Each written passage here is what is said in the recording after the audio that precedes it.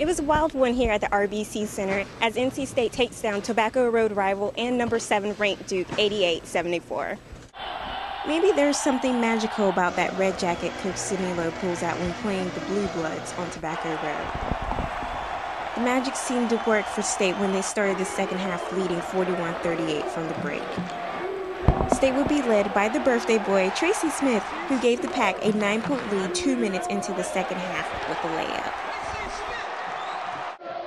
Smith, who turned 22 on the night, received help from teammates Dennis Horner, who hits a jumper, and Javi Gonzalez, who hits a dagger three with less than four minutes remaining.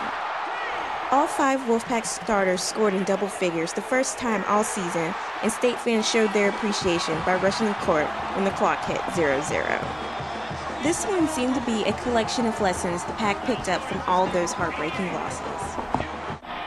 And for the first time all season, State was doing the heartbreaking. Coach Lowe told us that. He told us to go out with a little swagger, I mean, just play hard and have some fun. I mean, he told everybody he wanted this to be a great birthday present for me, and they came out and made it happen for me. Who gave you the hat? One of the fans gave me a hat. Yeah, they put it on outside the autograph. Huge. He's the birthday boy. He's uh, he's playing about as hard as he can, and uh, uh, that's all we need out of him. I think it was a little bit of both. I think it was everything, really. I mean, it was a special night tonight. You know, everything was clicking for us. Uh, you know, the dunk got the uh, crowd fired up, got us fired up. That three, you know, I think the three was the dagger. And uh, when you play 35 seconds like that defense, and then that happens, you know, it's just like it blows the wind out of you, kind of.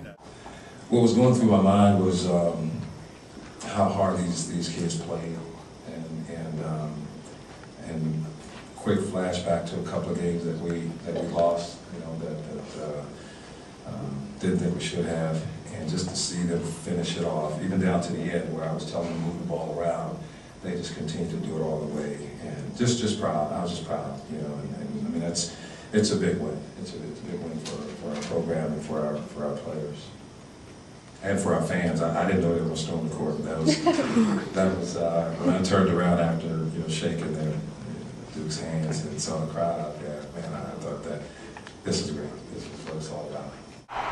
State now takes this momentum on the road as they head to College Park this Saturday to take on the Maryland Terrapins. I'm Fidelis Lusompa reporting for Palestra.net, the College Network.